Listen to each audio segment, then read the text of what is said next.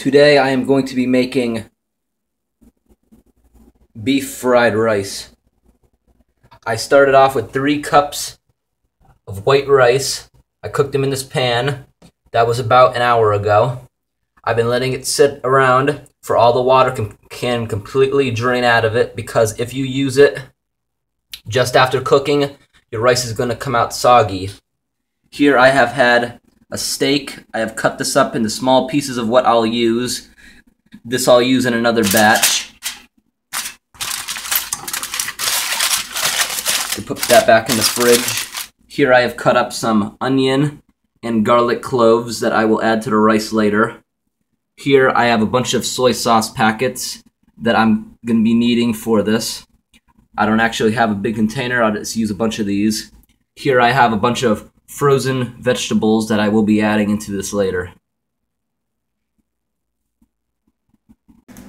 Okay, right now I have my frying pan. I just turned the heat on, and now I'm going to use about a couple tablespoons of olive oil. And then I'm going to go get my meat. I'm going to add my marinated meat. Okay.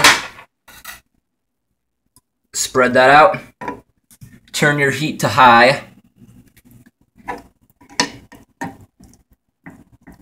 And now stir fry for about two minutes.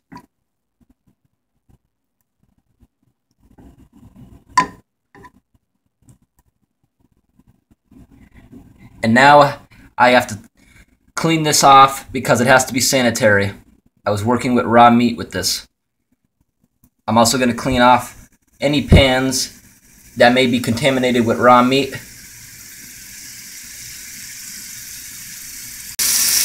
Okay, it's been about two minutes of high heat.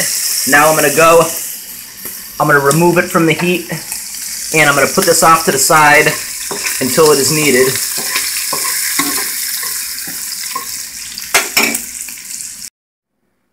Okay, I just got my big pan. I have it on low heat right now.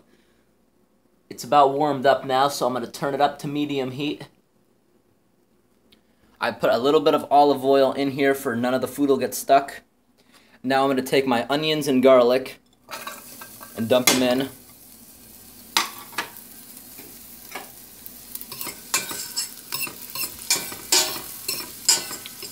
Leave this in here for about a half a minute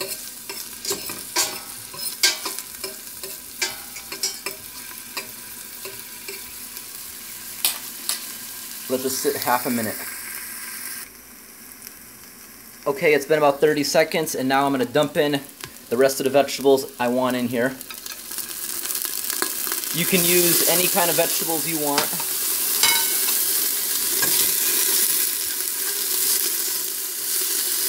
Leave this in here for about another 30 seconds. You can let it cook for longer depending on how soft you want your vegetables. I'm using frozen ones.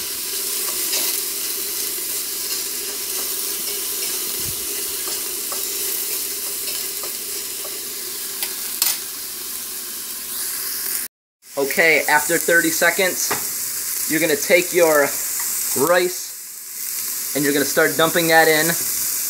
Your rice should be dry. It should have been sitting out for about maybe an hour and that's exactly what I did with my rice. As you can see, I am making a lot of it. Right now, the heat is still on. Leave your heat on while you are mixing this.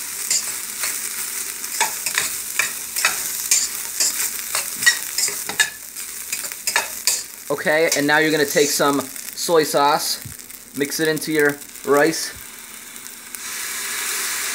Okay, mix that in. And also, you're going to want to add a little bit of maybe salt to this.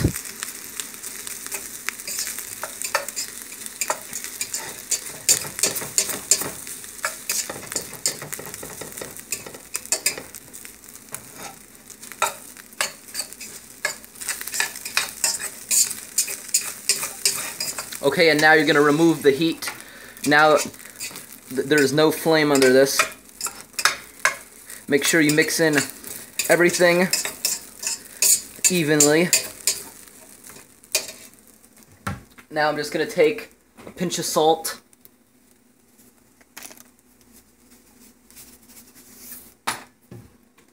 Okay. And if you want, you can also add a few other spices.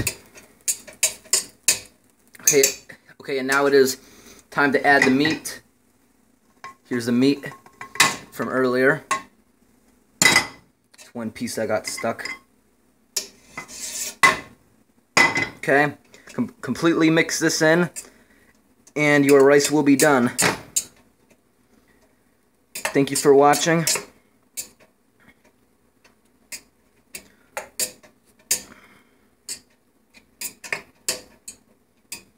The rice smells good too. Here it is. It is now completed. Thanks for watching.